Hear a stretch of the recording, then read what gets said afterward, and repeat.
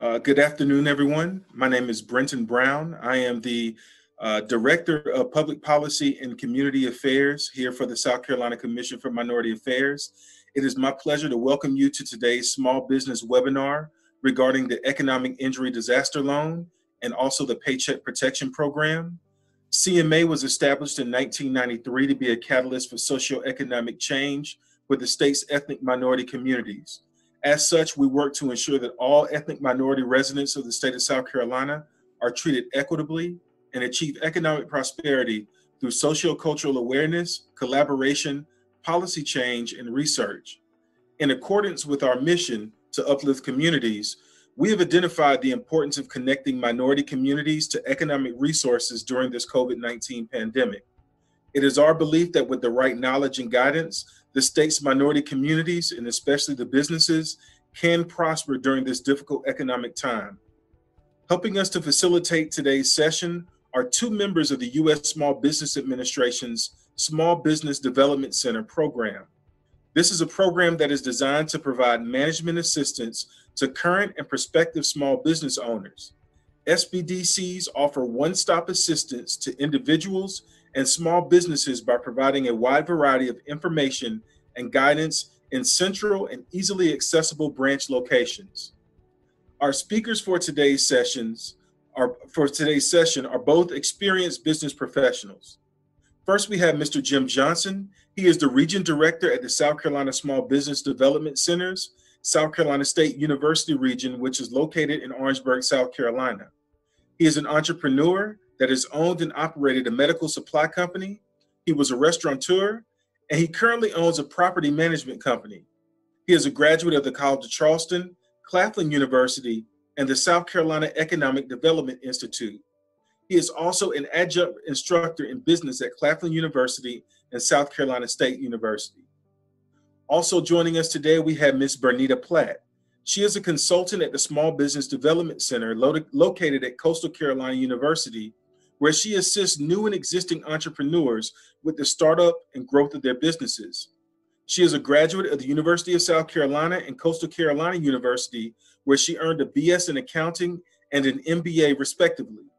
In addition to consult her consulting capacity, she also is a teaching associate at Coastal Carolina University, where she has taught core business courses. And she also has a background in banking and taxation. Uh, at the conclusion of their presentation, they will answer any questions that you may have regarding the Paycheck Protection Program. However, if you would like to write those questions down and submit them to the chat box, we will get to them after the main presentation is done. So without further delay, I present to you Mr. Jim Johnson and Ms. Bernita Platt. Okay, can you hear me? Yes, sir, we can hear you. Thank you very much. I appreciate the invite uh, again. Uh, we had a wonderful time uh, speaking uh, to you guys earlier, I think a couple months ago when this is all starting up. And we really didn't know where, where everything was going. Uh, so I'm glad to say that we know a lot more now. Uh, and and um, happy to be able to share that with you. Let me try to share my screen here.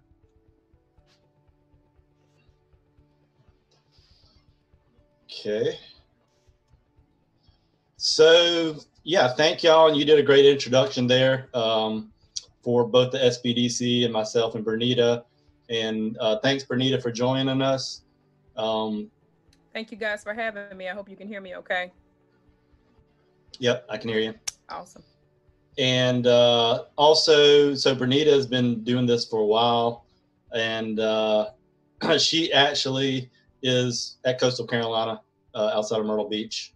Uh, so she's actually the closest to uh, the folks, I believe, that uh, are mostly on this this webinar, as well as Janet Graham, who's the area uh, director for Myrtle Beach. But Janet could not make it with us today. She is on vacation.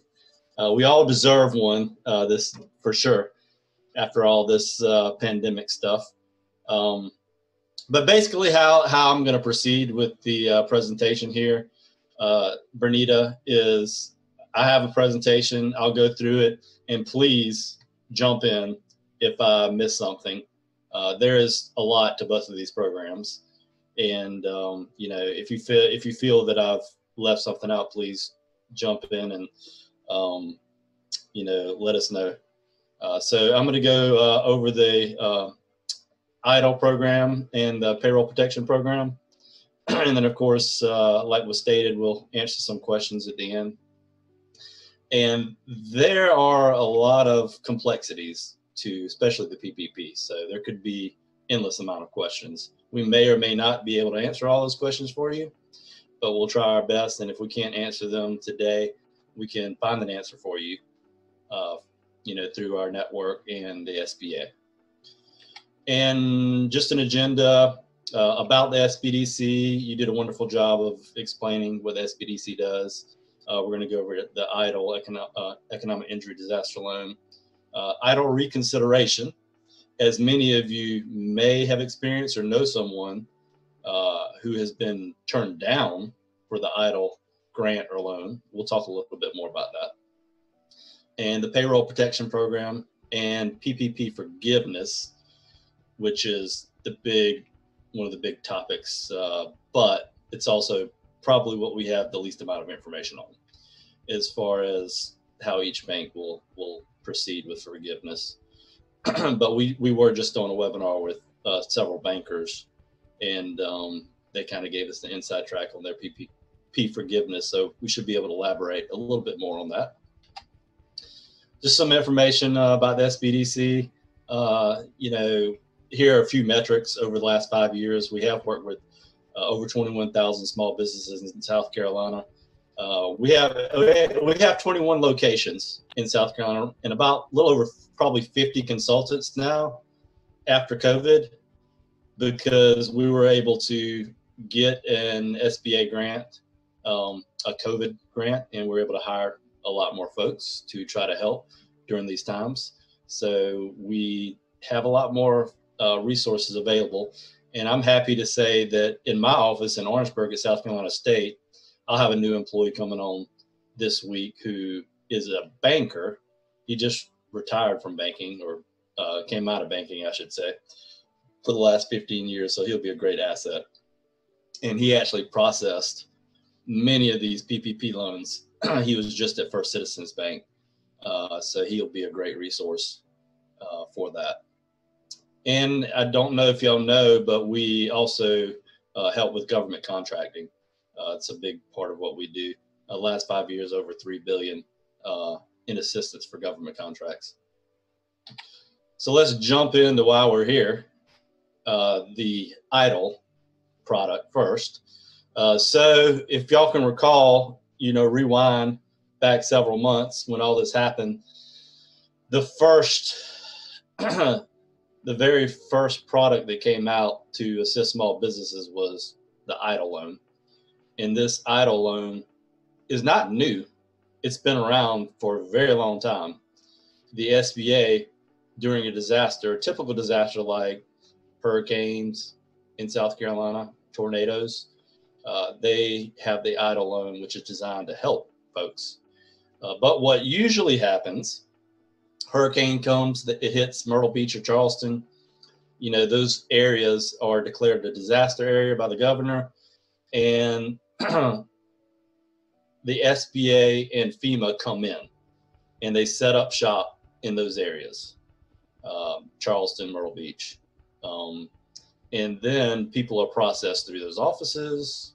You know, SBDCs help. A lot of times they are at SBDCs uh, and they process the people through these EIDL loans. Well, this just happened to be a nationwide disaster, which is unprecedented. And SBA was not prepared for this.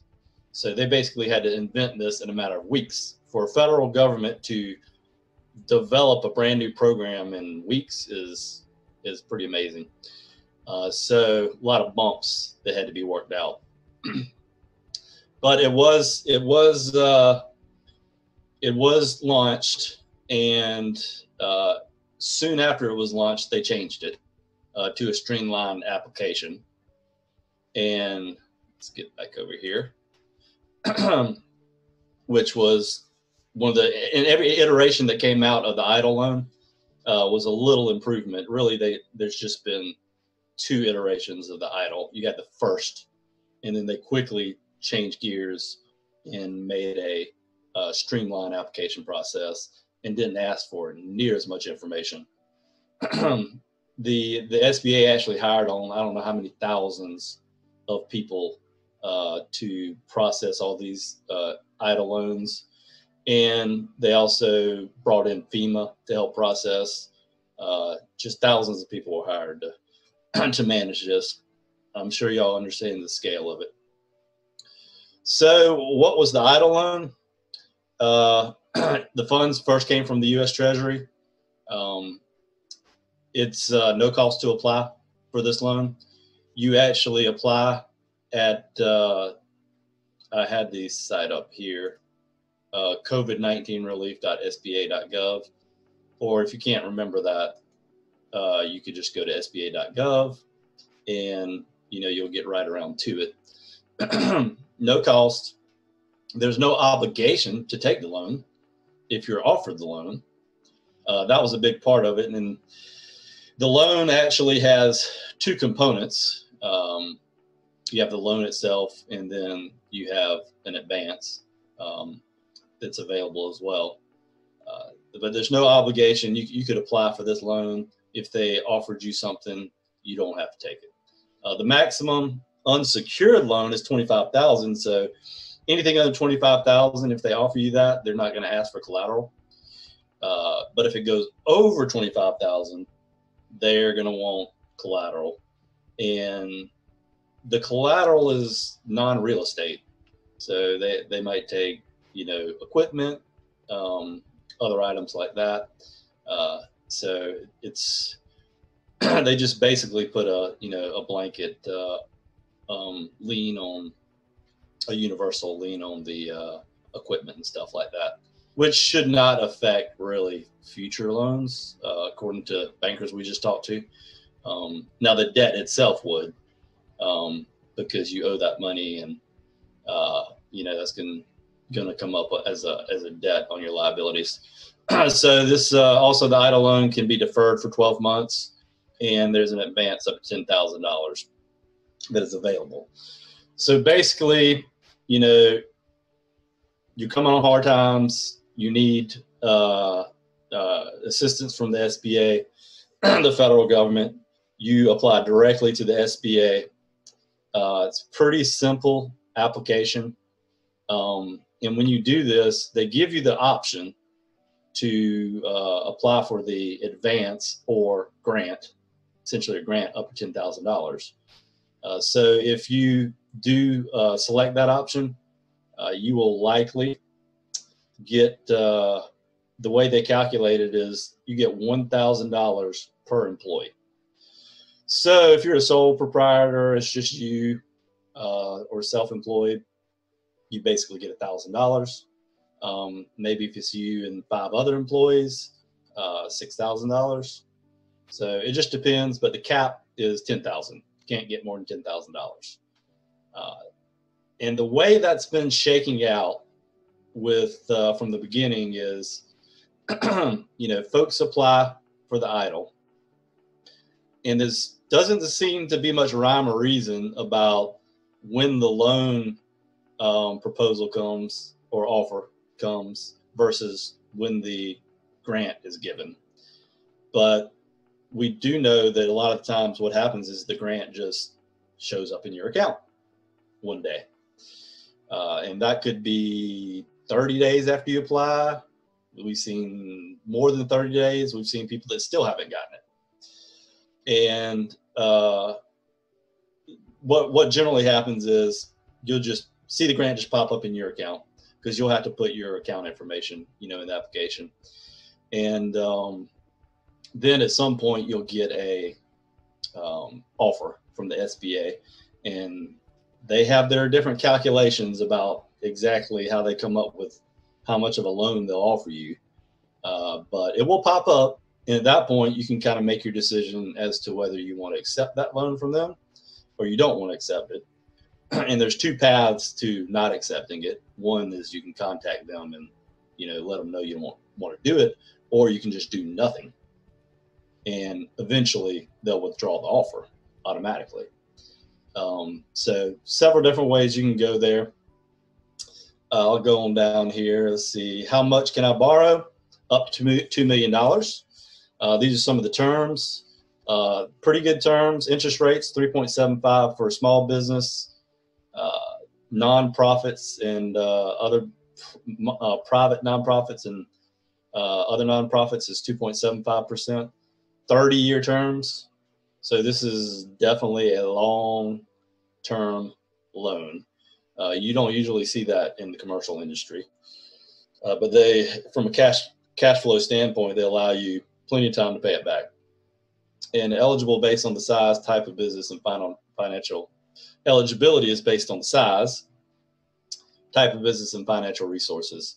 So size, you know, the typical size for SBA standards is under 500 employees, but there are other um, considerations as well, like revenue and things like that. The hospitality industry was exempted a lot of times if they had over 500 employees. Uh, so th- there's there's exclusion to these, but the rule of thumb is under 500 employees. And types of businesses, there are some excluded businesses, uh, you know, gun shops, um, you know, some things that are just on the typical SBA exclusion list. How could I use the funds? Uh, you can use it for, it's basically for working capital, to pay your debts, your rent, your utilities, you know, uh, payroll, accounts payable, any kind of bills uh, that would have been paid had the disaster not occurred. Uh, I've had a lot of questions as to can I pay it to pay off the mortgage?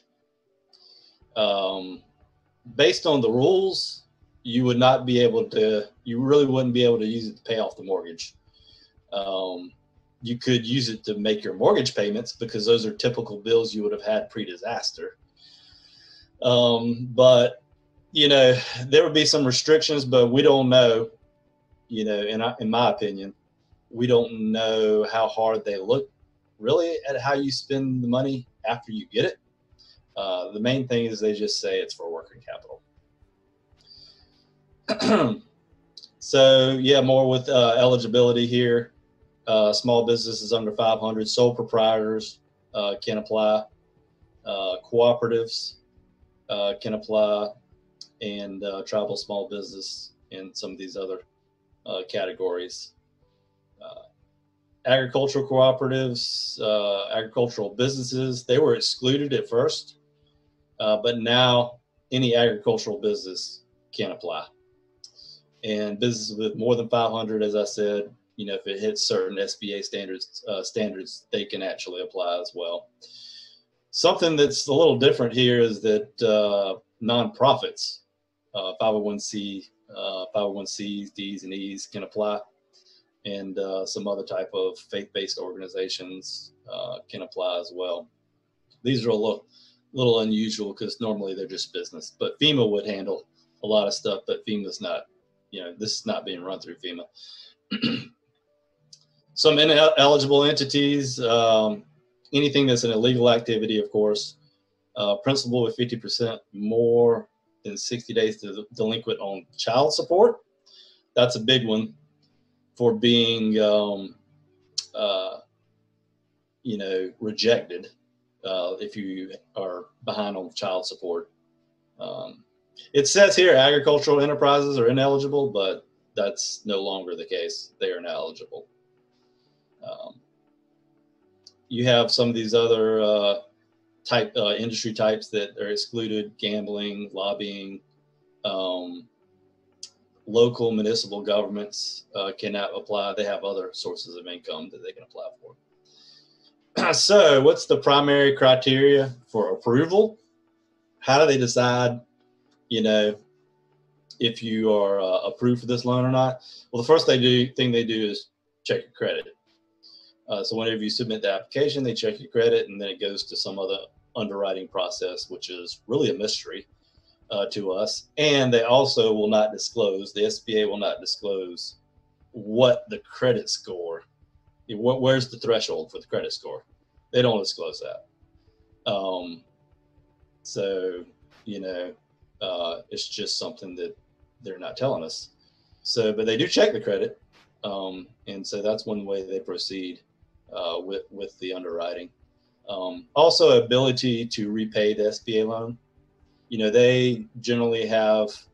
Um, if you file tax returns, you know they, they have access to those things and, and they can try to you know figure how much you can you know repay based on that uh, a lot of people and a lot of businesses uh, whenever you first apply they, they really don't ask you for that much information. Uh, basically gross sales and cost of goods sold. And that's about it. Um, as far as you know uh, financial information uh, so how they access a lot of these underwritings is still a little bit of a mystery.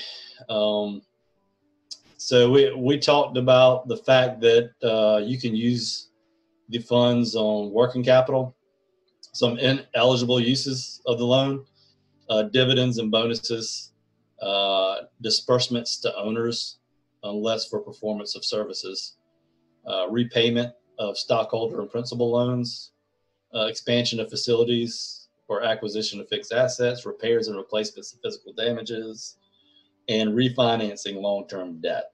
You're not supposed to consolidate debt with it. So these are these are some things, and also uh, here you go, paying down or paying off loans or owned by other federal agencies, including the SBA. Uh, so if you wanted to pay off your mortgage, uh, you, sh- can't do that with it. With it, payment of any part of a direct federal debt except the IRS obligations.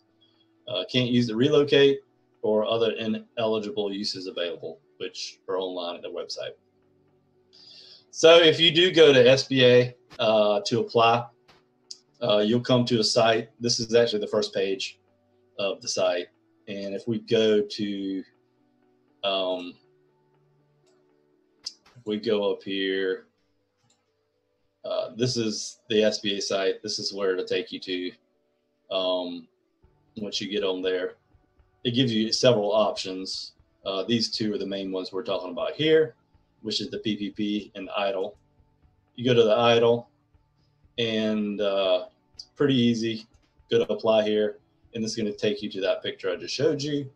You have to answer some. Uh, you have to answer a question about your eligibility verification you know, and then it'll let you proceed uh, once all these are are clicked, and um, you know, then you get to the the actual um, application. It's pretty simple. Uh, they don't ask too much. You will need your bank uh, information, your routing number, and you'll need your EIN number, um, and some other some other um, you know type of information like that. Let's see here. so, like I said, they're going to ask you for gross revenues, cost of goods sold. Those are the two financial indicators they'll ask for. You don't always have cost of goods sold either. If you're a service, you know, you would not have cost of goods sold. Um, but you would definitely have gross revenues. If you had no gross revenues, that's going to be a red flag, and they're probably going to deny, deny you because you didn't have any sales. Um, and this is for the 12 months prior January 31, or you can use 2019, you know, numbers. Uh, so you got to have some gross revenue. You don't necessarily have to have cost of goods sold. Depends on your type of business. Uh, loss if you're a property manager, uh, if you have lost rents, uh, which you might have to project, uh, depending on when you apply. Um, you know, if you're projecting that people aren't going to be able to pay rent, you would put put that in there. Uh, operating expenses for this is for nonprofits only, and other reimbursements uh, uh, that will receive business interruption insurance and stuff like that. Uh, your number of employees, they need that to indicate how much of a grant that you'll receive. So if you have six employees, uh, then they, you should get six thousand dollars if that includes yourself as well. So there's this, if you go through this application process towards the end, you'll get to this screen. If you want the grant, you have to actually click this uh, indicator and select that you would like it. If you don't, they're not going to consider you for it. And once you click that, you know, you'll have to have your banking information. Uh, they may come back if they offer you a loan. They may come back and ask for additional information. Uh, they may request this. To my experience, they have not done that. Uh, but it just depends on the business and maybe their first um, look at your, uh, you know, your background and whatnot, and and and uh, but so they they may ask you for more information. Bernita, is how's your the clients that you've worked with? Are they mostly just getting loans, or are they just uh, are they getting asked for more information? No, most of them are, once they get that uh, invitation to create the portal, they're pretty much good to go and they're not asking for any additional documentation from that point. Um, it seems like the advance is the part that's creating the most confusion because it shows up when it shows up and there's really no rhyme or reason, you know, to when that happens. Yep, that's that's pretty much what I've experienced. And this this was made by the SBA. Uh, this particular presentation, uh, they probably made it a little bit earlier on, uh, so they kept changing and pivoting kind of how they were processing EIDL, and they're getting more and more lenient as time goes on. so general information, if uh, more funds are needed, applicants can submit supporting documents and request for an increase. So if they offer you, you know, $10,000 and you're like, ah, $10,000, I don't know if that's going to be enough, then you can, you know, contact them back in and see if they can increase that, that offer. Uh, if less funds are needed, you don't have to accept the whole amount. Usually when they send you the offer, they it'll be one page, kind of like a dashboard looking thing. And it might say, all right, we're offering you $50,000 and you can go on and you can kind of like move the, uh, uh, the amount back and forth. Um, and you, you can just take it down to 30,000. You say, I want 30,000, boom. And then, you know, there's other questions you have to answer. Um, but it's pretty simple uh, but you don't have to take the whole amount. So uh, we usually tell people, you know, take it because you can always just repay it because you don't know what's going to happen next month. So if they were going to offer you 50,000 and you said, well, I really don't need 50,000 and you said, I'll just take 10,000. Well, what happens? We don't know what's happening this fall. And what if you needed that additional $40,000? so go ahead and take it because you can always just re- repay it if you don't use it. Uh, and the terms are pretty pretty good 3.75 over 30 years so your payment's going to be very low anyway and they're deferring it uh, for six months i believe. So uh, the loan request is denied. The applicant will be given six months in which to provide new information and submit written request for reconsideration. So you can be reconsidered if you were denied. There's a process, and we'll talk about that in a few minutes. So uh, some some FAQs they put on here. How long will it take uh, before I know that I'm approved for a loan? Um, they say as soon as possible, and I've seen it in the beginning from 30 to 60 days. Um, you know, I haven't. A lot of people hadn't hadn't applied uh, lately, but um, you can still apply. If a business currently has an SBA backed loan and it fears it will not be able to make payments, what course of action should it take? Um, disaster loans for pre- pre- previous disasters that are still being paid back will have no, will now have their payments deferred. The, um, it's an SBA back loan. Uh, how does a business define an impact or a loss? I mean, you do need to have some impact to your business if you're just booming uh, and th- this didn't really affect your business, maybe you are a, a mask manufacturer and you're doing really good right now. Well, I mean, there was no economic damage to your business, so you really shouldn't be um, applying for it. So let's see here. reconsideration. So basically, you know, the EIDLs out there.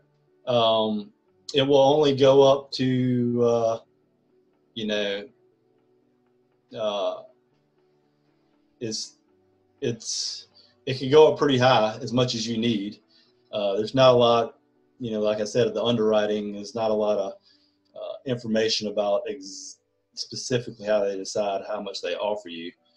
But uh, one thing that we have run into, and then I've, we've got a lot of questions about, is uh, denials, um, in the fact that they haven't seen their advance yet.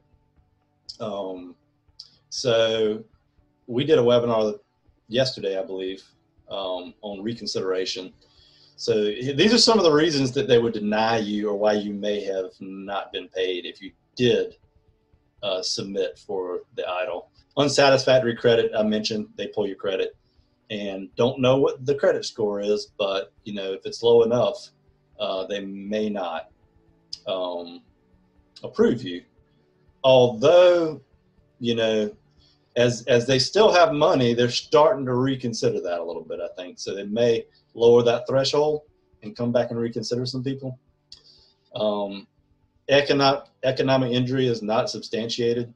Uh, just like I mentioned before, if your company is really doing good and there was really no injury to your uh, company, then, you know, and they basically look at your finances, they may not, you know, fund you. Uh, not eligible due to character reasons. Uh, those character reasons include, um, you know, some of those excluded uh, industry types that we mentioned. Uh, if you're in a gambling industry, uh, they're not going to uh, fund that. Um, if you haven't paid your child support for X amount of days, they're not going to fund that. So there's a list of, of reasons like that. Uh, an applicant requests a change in plans or fails to proceed. Uh, so there's a bunch of little technical reasons when you're going through the process. You know, you don't, you know, dot all your I's or cross all your T's and proceed in the right way could cause some issues. Um, not eligible because the applicant is not a small business. You don't fall within the eligibility criteria. You know, happens a good, good bit of time. Um, already mentioned the child support.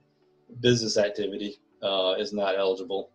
And uh, unverifiable information.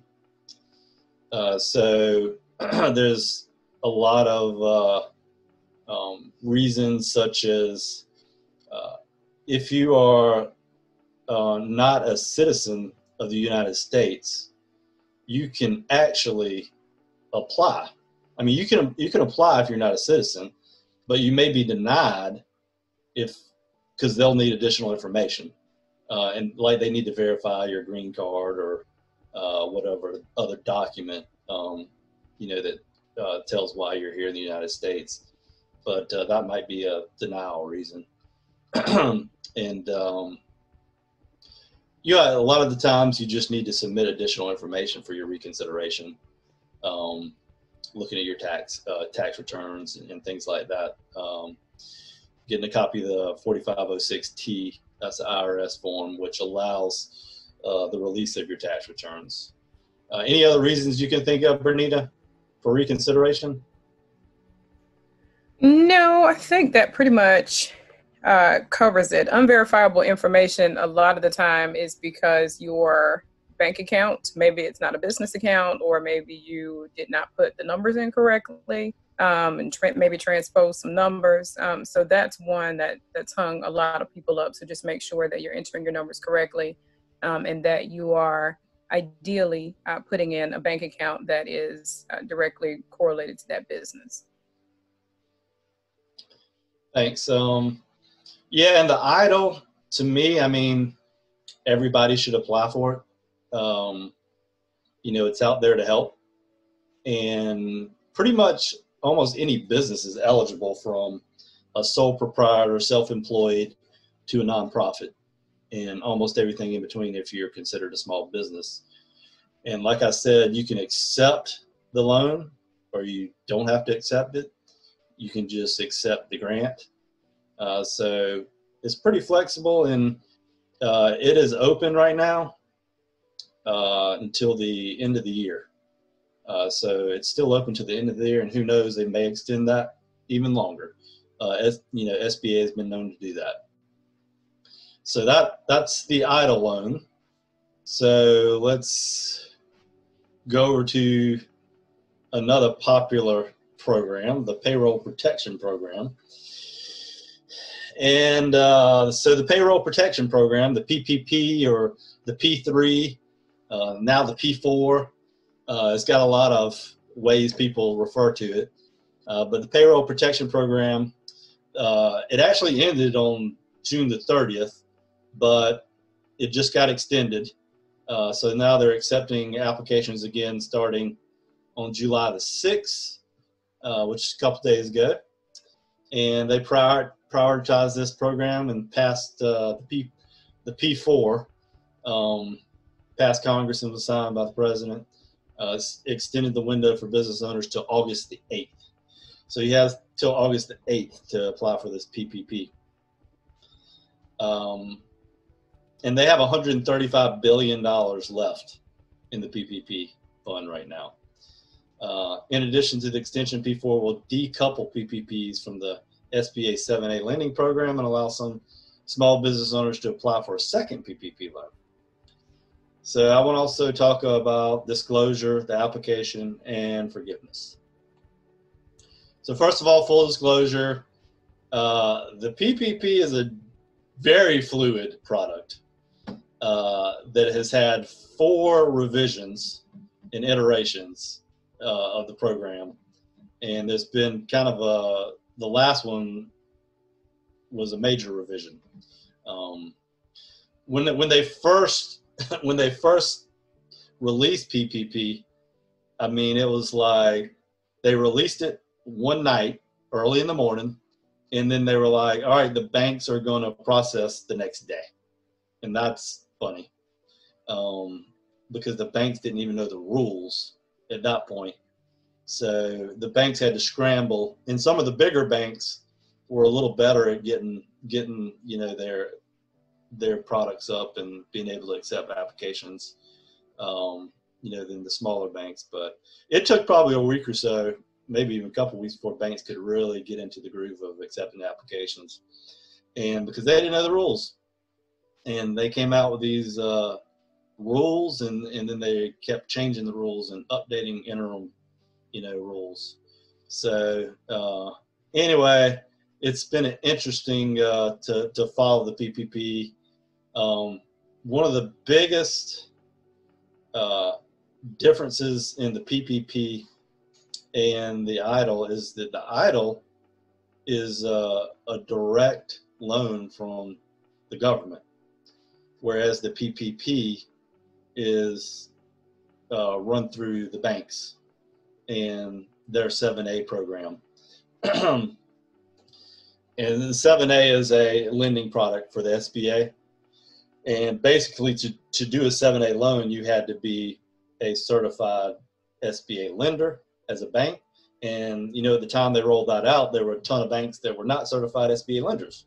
So then they had to roll on banks and get them certified so they could actually, you know, uh, sell the product or, or I should say, um, work with the product.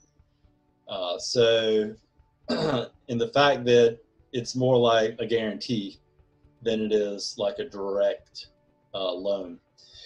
And that has been an interesting approach to getting the money out into the hands of the businesses.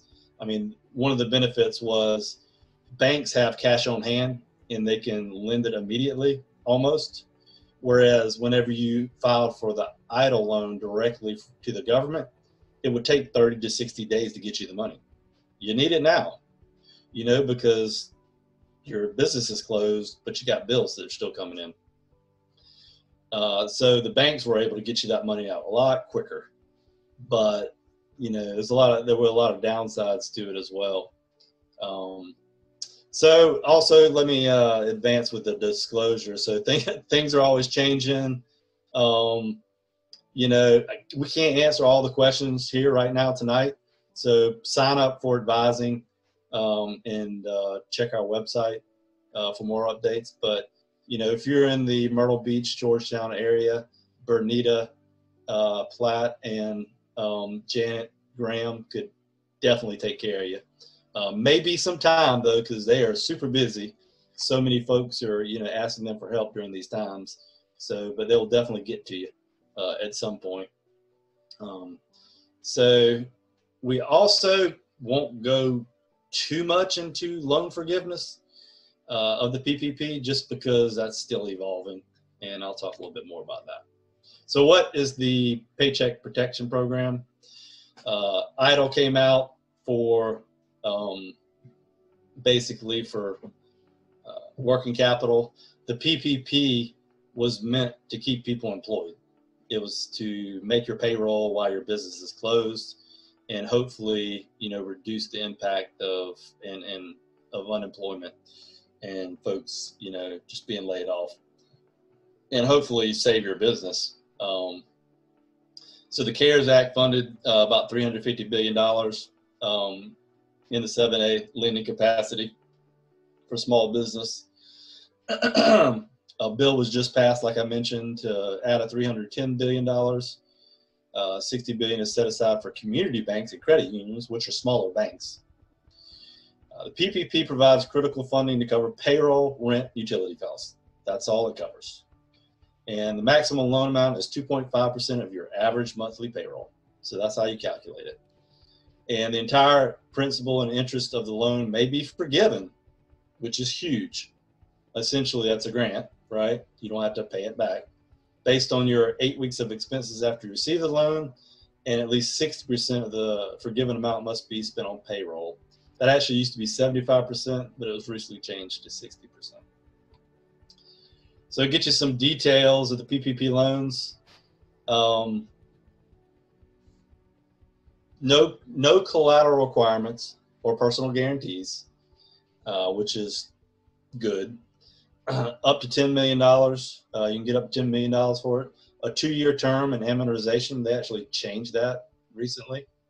Uh, and I'll go over the updates and changes uh, 1% fixed rate of interest, uh, very low rate, uh, no SBA fees, and no premium, prepayment penalties, and all loan payments will be deferred for six months. So, but this is a for you can get this loan forgiven. So, you know, given that, you know, you shouldn't really have to worry about any of that stuff.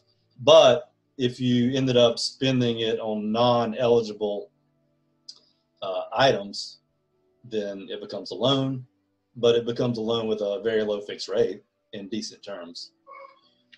Um, wanted to show you all some information on the PP uh, uh, report. So a lot of people ask, you know, where's the money going? Uh, I thought it was interesting. This came from the SBA to us not not too long ago.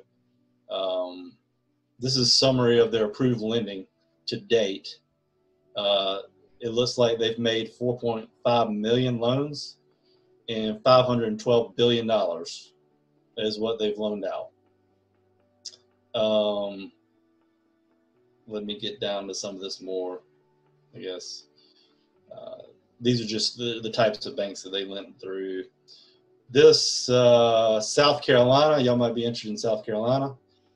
They've made 59,891 PPP loans for 5.6 billion in South Carolina. Of course, we're a little bit smaller of a state. Um, loan size, a lot of people are interested in this. They're like, where's all the money going? Is it going to big business or, you know, or small guys getting the loans? Well, they've done loans under 50,000. Uh, 2.9 million of the loans were under 50,000 or 55 billion dollars. So 65% of the number of loans uh, was to small business, very small businesses, likely, um, which is only 10% of the overall money. But uh, you know, that's it's a lot of loans to small business is is what they're trying to uh, show. And who who's lending this money? Course, your big banks, uh, J.P. Morgan, Bank, uh, Bank of America, Wells Fargo in this area, Truist. are doing most of the activity and kind of what are the sectors that are getting the money uh, or the most money healthcare, um, as you can imagine, uh, construction, manufacturing, uh, accommodations, and food service. Uh, you would think they would be even higher, but I guess these these folks probably um, just require more money. So, in the, the date this was done, 6 12 20, there was 129 billion left uh, on 6 12. So, I thought that was an interesting, you know, report to look at because, uh, you know, people do ask, well, where's the money going? Uh, and of course, uh, the SBA has to be stewards of the money. And I think in the, the reiteration of the last um, PPP, you know, they're trying to get the money out to smaller businesses more more than uh, as much as possible. So we'll we'll get into how do you calculate this loan and how much you can get. Uh, like I mentioned in the beginning, um, you have to go to a bank to get this loan. So you're going to be dealing with a banker, um, and we'll talk a little bit more about that. But what what the bank is going to ask for is your payroll information, uh, because that's how you calculate uh, how much of a loan you will get. So you you would basically look at your average uh, payroll over the last 12 months, and you aggregate your payroll 12 months, divide that by the monthly period, uh, which uh, you know, if you're looking at a year, it'd be 12, about about 12. So you get your average payroll. Multiply that by 2.5. Add any refinance EIDL amount. Now I'll get to that uh, uh, in a second, and uh, that'll get you your maximum loan amount. You can actually refinance your EIDL loan into your PPP loan uh, or a portion of it, um, if you like. so uh, let's just say, for instance, that your payroll was $1,000 per month.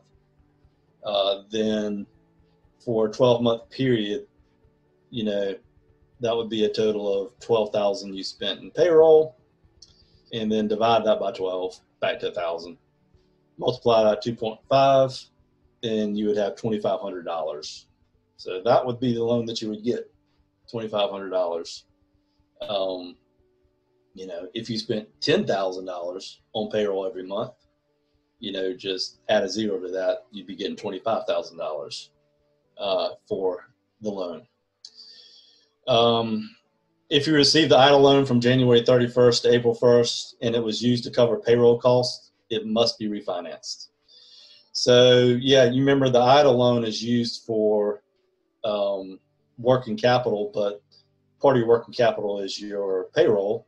So if you actually used a little bit of that money on your payroll, then you'd have to you could lump it in uh, to this, and um, you know it's forgivable in that case. Uh, proceeds from any EIDL advance must be subtracted because it does not have to be repaid. So let's just say that you know um, you're getting twenty five thousand uh, dollars, you know, in your um, in your loan and you got an EIDL grant of five thousand dollars, then you would get a net twenty thousand uh, dollars for the loan. So yeah, you got to subtract that advance out of it, and if you paid any payroll out of the EIDL, it would be refinanced or lumped into the uh, to the PPP loan. what qualifies as payroll costs? Uh, payrolls is gross wages plus payment for leave plus payment for employee benefits, plus state and local taxes. And gross wages is salary plus commissions plus cash tips.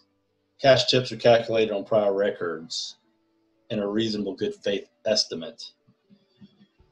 And at that point, I will say, if you look at the over here, you know, you see they've got timesheets, you got documents. You need your, you need your documentation. I would not claim anything that you can't produce a document for. If you can't produce a document for it, then I mean, definitely don't claim it because in the end, to be forgiven, you're going to have to start producing documents um, that show, you know, what your uh, what your what you paid out in wages and, and things like that. What's excluded? Uh, annual individual compensation over hundred thousand dollars. So once you, if you have an employee that makes over hundred thousand, then anything over that one hundred thousand mark would be excluded. Uh, only wages, commissions, and tips does not include benefits. Um, employees with principal residence outside the U.S. and 1099 employees and independent contractors. That was a big issue. you know, if you have the type of, let's just say you have a barbershop, for instance, and then, you know, the folks are maybe renting chairs from you, or maybe they're just, you know, independent contractors somehow and pay you a portion. Um, you know, if you had 10 people that worked in your barbershop and, you know, they were all independent contractors, you could only basically count yourself as a sole proprietor because you, you couldn't count them. They would have to independently apply for the different uh, programs. so you, you can't claim a 1099 person as one of your employees. They're basically self-employed. Um, you can't also also you can't uh, claim federal employment taxes or withholding. Uh, anything federal, you know, uh, FICA, Medicare, all that stuff, uh, you can't claim that. Uh, sick or family leave qualifying for Families First Act credits, can't use that either. So period to determine average payroll. Uh, talk about this a little bit. Existing business should calculate both tax and trailing 12 month uh, option. Um, so you can use this with an existing business. You should use your 2019 tax year. And so whatever you claim for payroll that year, there it is, divided by 12, and that's your average. If you were a new business, you know, from January 1st to February 29th, um, you know, you would just claim, you know, what you did in that period of time. You had to have been in operation, um, you know, when, when the COVID hit uh, so I've come across people who started businesses after January 1st and they got denied for EIDL and they never applied for PPP because they never paid a payroll. Um, but you, I mean, you got to have paid a payroll and you have to be making money uh, for the EIDL. If you didn't have any sales, then you're not going to be eligible. And seasonal businesses, this this is a big one because there's a ton of them out there, especially you know, event uh, organizers and things like that, where their big time was maybe in the spring when they had weddings and uh, different uh, events going on, and they made all their money, you know, maybe between March and June. well, you can actually just take any consecutive 12 week period and you know come up with that calculation because you know you may be if it's a touristy area you may be uh, not very active over the winter months or uh, down months, uh, depending on where you are. So you can actually calculate based on you know your season. Uh, self-employed people do qualify uh, to be eligible. You must meet the following requirements: got to be in operation on February 15th, have a self-employment income, independent contractor or sole proprietor, and you have to have filed or will file uh, 1040 with Schedule C for 2019. So you need a Schedule C, which is a you know a business uh, return to show that you had activity in 2019, and it's going to show that you paid yourself in some form or fashion. Um, and the way they they would usually look at it is you take your 2019 net income divided by 12 so you get an average of your net income, multiply that by 2.5. Same thing, any refinanced EIDL amount that you might have received that was allocated towards payroll, and you come up with your maximum loan amount. And uh, so this is based on the 2019 1040 set schedule C line 31. That's your net profit line. your net income can't be more than 100,000. They'll cap you at that. Um, EIDLs made between uh, January 31st and April the 3rd that you seek to refinance uh, less the amount of any advance. so basically, if you're in business for yourself and you didn't necessarily pay yourself payroll. It's just going off, you know, if you're not a corporation and you're you're not W two, you know, um, which probably wouldn't be in this self-employed situation. You know, you're just going off the net income numbers. so some um, some updates uh, to the uh, to the PPP. Uh, borrowers have the option to extend the eight weeks to 24 weeks now. Um, back when I was first talking about it, once once you get the loan, the PPP loan, initially you had eight weeks to start spending money. Uh, now you have 24 weeks, so they extended that um, for your payroll costs to re, re, retain and rehire your employees. And one of the big things with forgiveness is you've got to you got to get your employees back. So if you claim when all this started you had 10 employees, then you know they're basing uh, a lot of stuff on 10 employees. You have to then eventually hire 10 employees. Um, you have a certain amount of time to do that. so if you don't, then that's where your forgiveness is going to start to become an issue. So let me go to the second, this next line first. Uh, used to be you had to uh, spend 75% on payroll. They changed that. You only have to spend 60% of it, of the loan on payroll. The additional 40%, now you can spend on utilities or uh, your mortgage interest or rent payments. if you spend more, if you spend 100% on, on payroll, you're fine. You know, you don't, you know, uh, you, it's a minimum 60%. Uh, so if you spent, you know, more than that, that's fine. It would still be forgivable. The June 30th deadline for penalties and calculations for reductions in workforce has been extended to December 31st.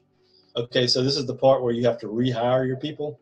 So if you had 10, you claim 10, you had 10 employees, and that's what you're basing your payroll on, well, then you need to rehire 10 employees by the end of the year.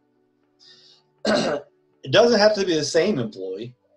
Like, for instance, some of your employees might have gone on unemployment, um, and then they don't want to come back. Or maybe they moved, or maybe it could be a lot of different things. Um, it's not like you have to hire that same employee back but you do have to hire if you had F, 10 FTEs, you have to hire 10 FTEs back. Or if you had five FTEs, full-time employees, and five part-time employees, you know, you need five full-times, five part-times. So it just has to be equivalent, and you have to hire those back by the end of the year. Additional exceptions where the bar made good faith effort and can document one of the following situations the employer unable to rehire former employees or similarly qualified new employees, or the business when it was unable to restore business operation due to federal health guidelines or restrictions related to COVID. So there's some exemptions there or exceptions. Extended low loan repayments. So remember back in that earlier slide, you had two years to repay the PPP. If it becomes a loan, now you have five years. So they extended that out. Uh, still at 1%, uh, which is a great deal. Bars will be eligible for a two-year deferral um, of employers, if employers of Social Security payroll taxes. So you can defer your payroll taxes too, your Social Security payroll taxes. Um, so that's, you know, that's one thing that was excluded from being able to, you know, get the loan for. Um, so now that they've actually made a deferral that to help you out a little bit um, more. So some uh, general best practices for the application, always start with the bank you have a relationship with. Like I said, PPP, you have to work with a banker. And uh, they have to be a participating lender. Always go where you have a relationship first. Uh, if and, and honestly, most banks, a lot of the banks are not accepting PPP applications anymore. And some of them may accept PP applications only if you're one of their existing customers. So that's that's become an issue. It was an issue several times during the PPP um, program, and it's an issue now Uh, so, because some people, you know, the PPP ended on June 30th, and then it got approved to be extended through August 8th. But a lot of the banks just said, "All right, we're done at June 30th. We're not. We're just not going to take anymore," because this has been such a banks are not able to do anything else but process PPPs. They can't even make like hardly make other loans because they're tied up with these PPPs, and it's also tied up a lot of their capital. Uh, banks aren't bottomless pits of money, regardless of you know what we like to think sometimes. Every bank has a cap rate. You know they're only worth so much money, uh, and once you know you know they're only legally allowed to loan so much money based on their cap rates. Once they start to get closer and closer to that with the you know amount of you know loans that are on their books they have to stop loaning money um, you know until that those start getting paid back down. So there's a lot of intricacies around banks and why they would not accept more ppps uh, but there are also some out there uh, that are accepting ppps um, you've got a lender list here. This is actually on the SBA website. So if you went down, you know, it's a long list. Ooh, yeah, that's that's far down there. South Carolina's on there, and it'll tell you all the the South Carolina lenders that are um, accepting PPPs. But like I said, and like the uh, um, the slide says, you know, start with your regular bank and then go from there. Um, there is a, I just went on Google too.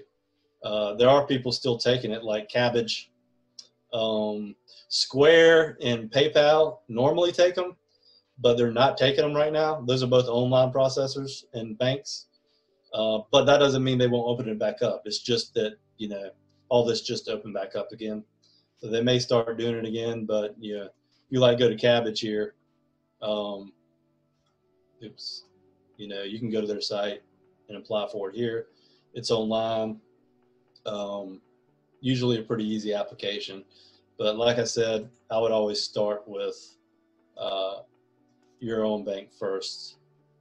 Um, focus on working with smaller institutions uh, get your documents together before you start the application because they're going to ask you, you know, about your payroll. So you need all your payroll records together uh, and your tax returns if you got them, um, processor records, bank statements, so forth and so on. Keep good time.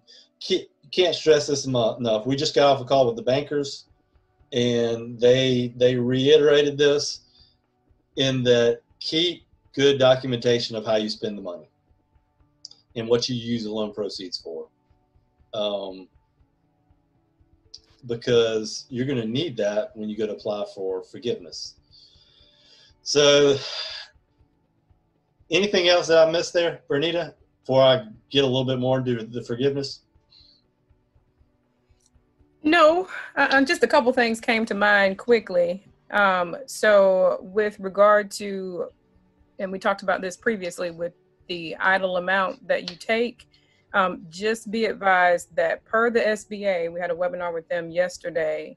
Um, if you decide to take less than the amount that they offer you, you cannot go back and change that.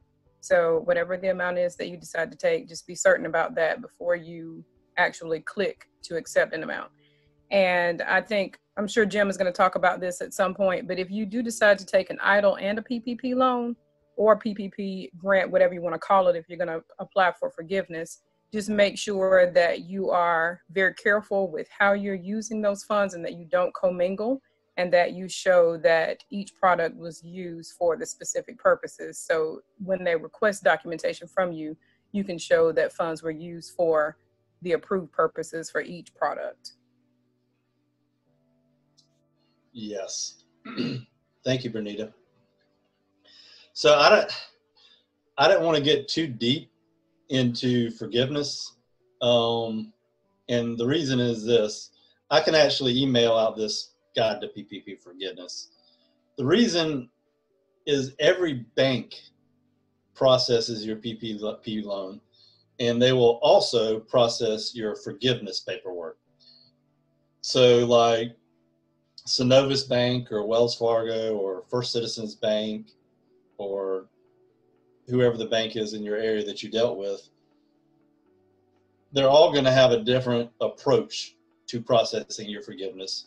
And most of them will set up an online portal where you'll just go online and they'll ask you questions and you'll answer the questions and you may have to submit documentation and then that will be submitted to the bank and they'll review it and if they have questions then they'll probably come back to you or if they need more information or more documentation they'll probably come back to you and then once they feel comfortable with what they received then they'll send it on to the SBA and then the SBA will make their determination and then they would come back based on what you've submitted and based on the rules, and they will forgive, you know, whatever percentage, up to hundred percent of the loan.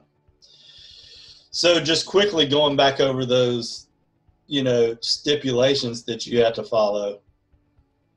You know, you know that at least you have to spend sixty percent on payroll and forty percent on utilities or mortgage interest or rent. If you spend the money on anything else, working capital, you know, uh, other debt, vendor debts, uh, equipment that you wanted to purchase, those are ineligible. You know, they will take that out of, you know, however much money you spent, they'll take that out of the calculation and you know they'll figure out how much you owe or what, what your loan's going to be for for example if you know if your loan was $10000 and you spent $9000 on payroll and rent and utilities uh, and you spent $1000 on a piece of equipment that you needed yeah but the money was there you know and you used it for that uh, purpose then your your loan amount will be a thousand dollars uh, with a five year term at one percent. So terms are great, um, but if you do if you do want it all forgiven, you know you just have to follow the rules. Uh, so got to spend it on payroll and the, the other items. And then the other thing is if you don't, let's just say you had ten employees, but you only hired back six because you know you're just having a reduction of workforce, but you claim ten employees and you claim the payroll based on 10 employees, but you're only wanting to run six now, well, there's going to be a percent reduction in your forgiveness based on, you know, six employees versus 10. I don't know exactly what the percent drop will be, but they have a formula for it. Um, you know, and th- there will be some reduction there because you didn't retain all the employees. Uh, so, I mean, th- those are, you know, there's a couple of the you know intricacies to it, but uh, you know it's going to be with the banks. Um, you know, it's not so. You know, whenever you went and got the PPP loan, or if you're going to go get the PPP loan, it's kind of like a rush to get it. You know, uh, to get the money out because they didn't know how long it was going to last and all that. But they're not rushing so much on the forgiveness. You know, it's just like that'll be not such a speedy process. Just uh, you can get to it um, and uh, you know uh, get that in you know through their through their systems and whatnot. So uh, PPP forgiveness is is interesting. Um, like I said, it's going to be different with whatever bank you work with, and they're all going to have different systems of how they uh, go about that. Oops. So now I'm at the end of the presentation. So we've gone a good little while here, over an hour, and uh, hopefully I've answered a lot of the questions. But if you have more questions, feel free to ask us at this point.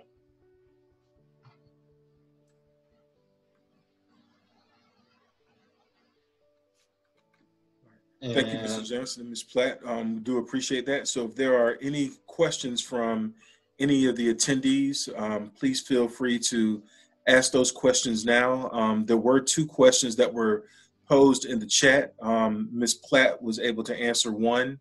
Um, that question was if funds are deposited into your account, how would you know if it's a loan or a grant?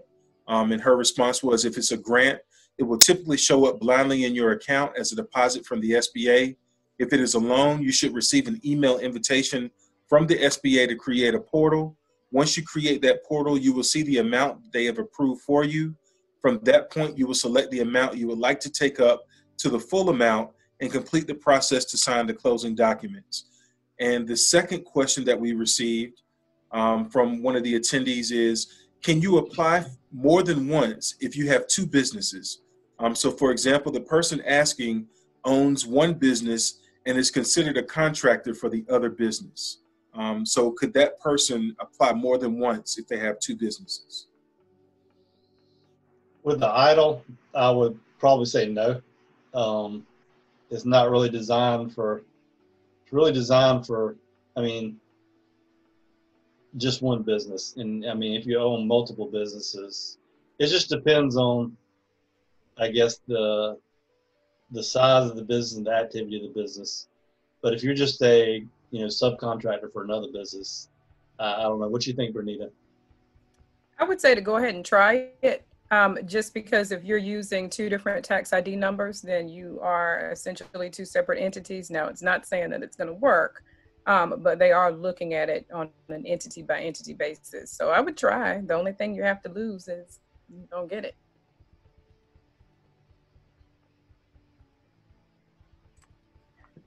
Thank you. Are, are there any other questions from attendees?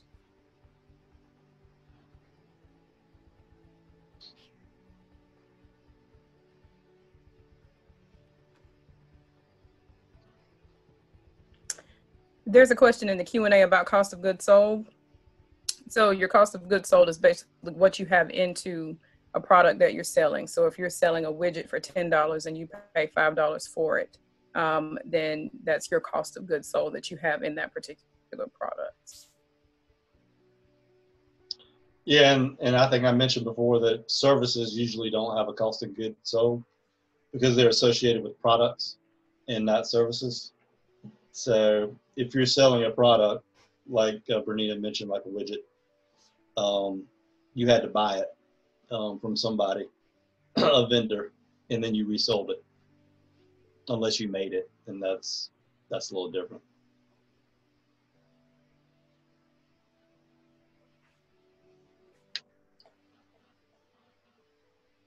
Okay, I am monitoring the chat box and don't see any other questions that pop up. Um, as we're waiting for, for some more questions, um, Mr. Johnson and Ms. Platt, if you could please, um, if you could give out your contact information, should people have any follow-up questions um, after we, we finish on tonight?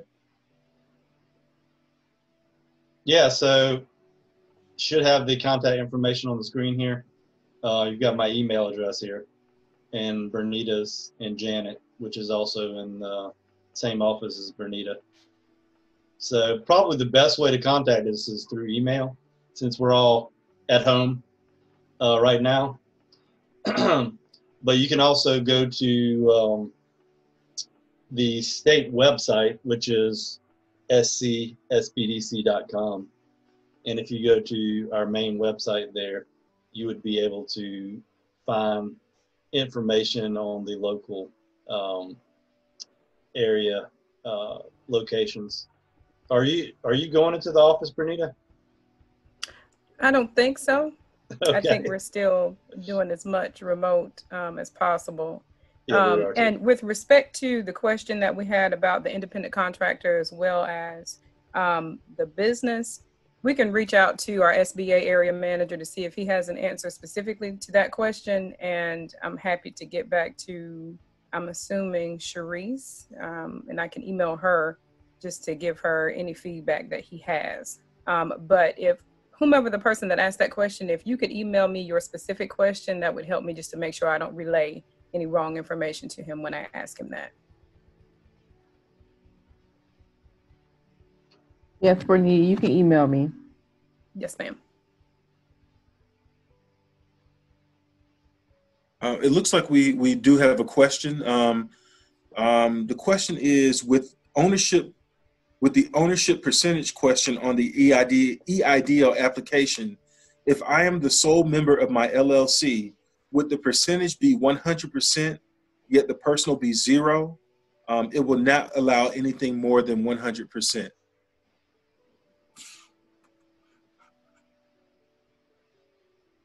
Yeah, I mean, you should be a sole proprietor would be 100%.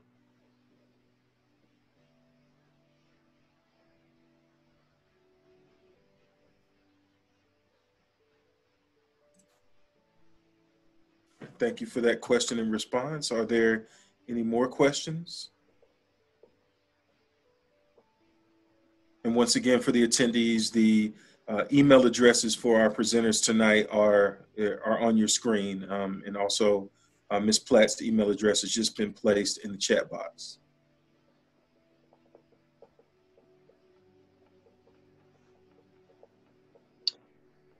Yeah, if I'll just add that you know, if you hadn't, if you haven't had the opportunity to apply, um, you know, I would definitely encourage you to go ahead and apply.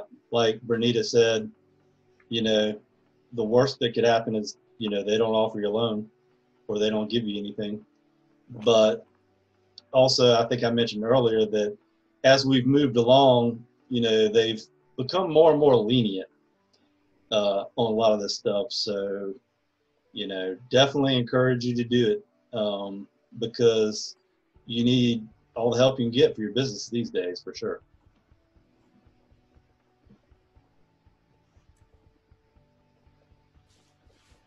All right, thank you for that. And seeing no more questions, I didn't know, um, Mr. Johnson and Ms. Platt, if you had any closing remarks before we adjourn today's webinar.